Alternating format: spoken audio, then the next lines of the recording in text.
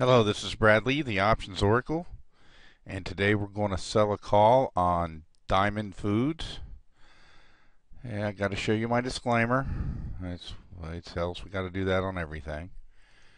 So anyway, here we got auto trading. If you don't want to learn how to do this, as I'm doing it in the video, you can sign up for auto trading, and what that means is your account will do exactly what I do. And if I'm speaking Greek to you, you don't even have to worry about the translations. So first, we want to look over here at our Oracle Speaks newsletters. Diamond got put to us at 32. It's currently trading at 25.34. A lot of people panicked. Don't panic. Because, you know, back in February, we already sold the $32 call when you got 20 cents. So now we're going to sell the June 2012 $33 call for 50 cents. I don't like going out that far but sometimes you got to do what you got to do. Uh, so we look at Diamond. They have kettle chips. They got Emerald brand nuts. They got Pop Secret. Uh, these guys aren't going anywhere. Uh, if you look at their cash on hand, these, this this stock is worth about 40 bucks. But let's go ahead and look at our graph, and and you can see here's the the big gap, and you see it slowly starting to recover. We look at our fundamentals. Our fundamentals are pretty strong. These bottom two, I don't even give those any credit at all. So anyway, let's go to our optionsXpress account.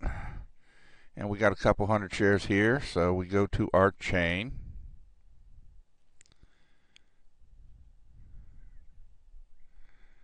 And our Oracle Speaks already told us where we're going. So we're going to June. And we're going to June 33. Yep. And it's the time value on the left. It says I get 50 cents. So that's what I'm going to go for. And that's right in the middle of the 45 and 55 bid and ask.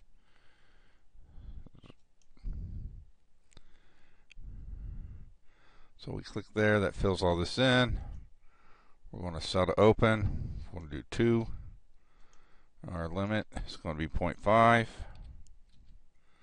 and I like to keep mine good until canceled because sometimes the the after hours guys will start playing volleyball early.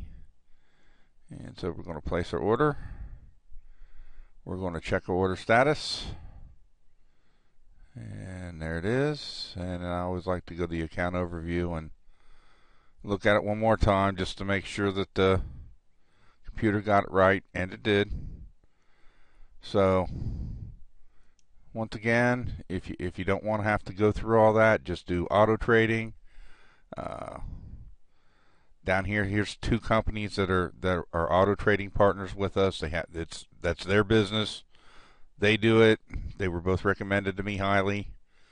So sign up for auto trading, and you don't have to worry about uh, getting the newsletter on a on a you know in time and getting trades in before Monday morning. This is Bradley, the Options Oracle, signing out.